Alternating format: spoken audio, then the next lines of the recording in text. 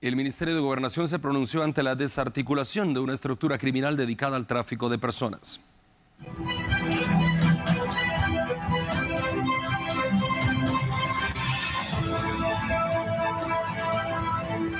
Buenos días, Guatemala.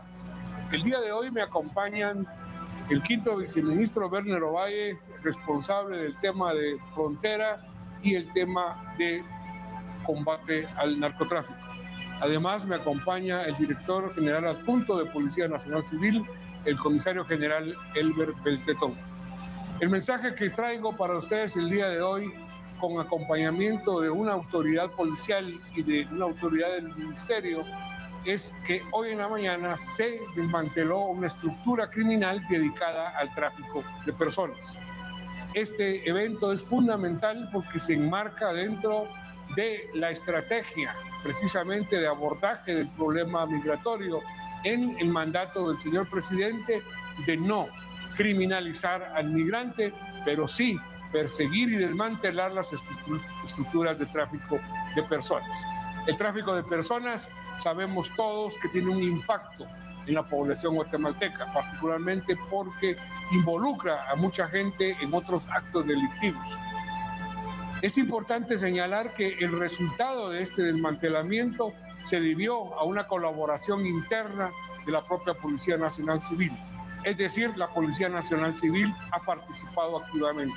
¿Cuál ha sido el resultado? 36 capturas, de las cuales son 23 policías en activo, dos policías en condición de retiro, 10 civiles y además una persona vinculada a el delito de lavado de activos. Esta estructura hacía uso de agentes policiales corrompiéndoles para que se garantizara el trayecto de las personas que traficaban en las rutas en el país. Esto significa entonces una participación de policía del IPAFON y policía de las comisarías donde se da la ruta del tráfico de personas. Para nosotros como Ministerio de Gobernación y Policía Nacional Civil es importantísimo este éxito porque implica fundamentalmente el responder a nuestro compromiso de desmantelar las estructuras criminales que operan en el país, no solo con el delito de tráfico de personas, sino que también otros delitos más.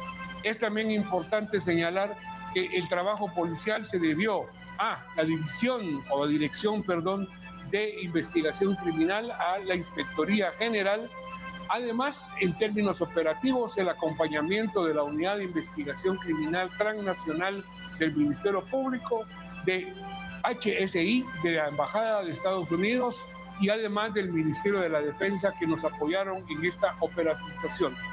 Quiero subrayar de que dos grandes objetivos se cumplieron el día de hoy el combate a la corrupción, porque no permitiremos la corrupción policial y además el desmantelamiento de una estructura criminal importante que hace que los guatemaltecos sufran a través del tráfico de personas. Seguimos adelante y recordemos, no hay mañana, la seguridad es hoy. Ahora hablemos de otros casos donde agentes de la policía fueron detenidos por diferentes delitos. El pasado 5 de agosto, un grupo de oficiales capturó al ex subinspector de la Policía Nacional Civil Eddie mm, Leonel Vázquez Rabanales, quien fue deportado vía aérea desde los Estados Unidos por su presunta responsabilidad en diversos crímenes, entre estos la muerte de un canadiense, mientras que el 27 de agosto cuatro agentes de la Policía Nacional Civil fueron detenidos en la central de mayoreo, señalados de exigir dinero a migrantes de diversas nacionalidades con el fin de dejarlos pasar rumbo a la frontera con México.